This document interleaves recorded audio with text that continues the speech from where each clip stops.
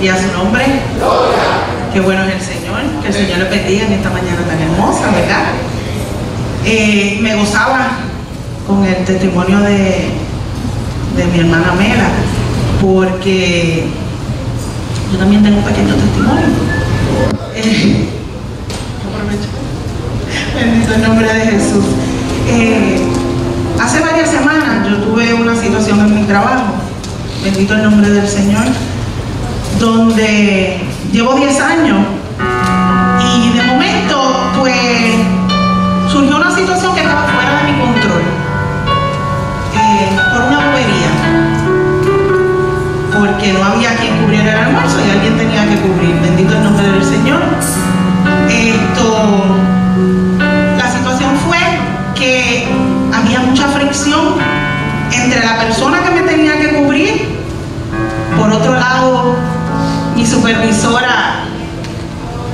también pues me estaba como que haciendo la guerra y de momento me vi en una situación, hermano, que yo decía, Dios mío, pero ¿qué es esto? Pero nosotros somos cristianos, tenemos que tener cuidado. Yo decidí callar, callar, pero tenía mucho dolor en mi corazón. Eh, me sentía angustiada. Y el Señor nos conoce.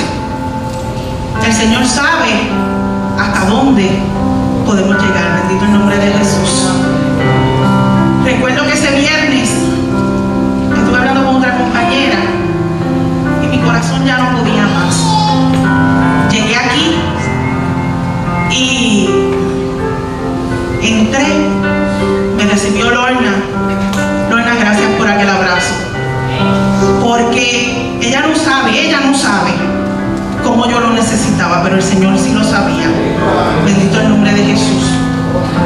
Y ese fin de semana, decidí renunciar a mi trabajo.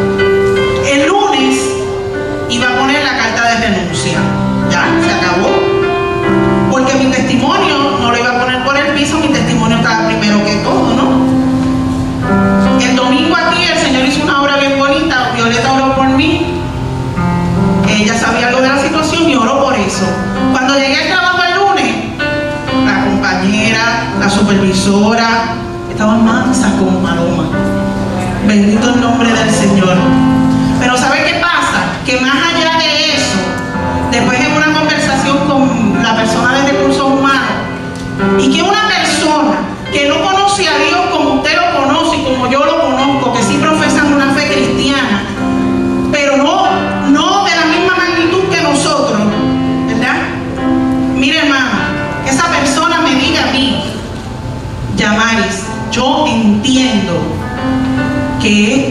resolvió Dios. Fueron sus palabras.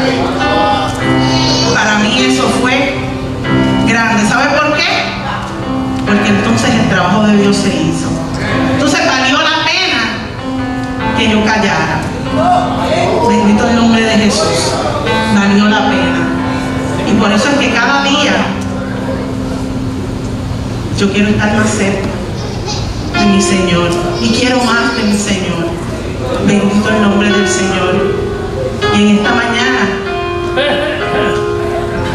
yo quiero estar más cerca, cerca de ti, Señor.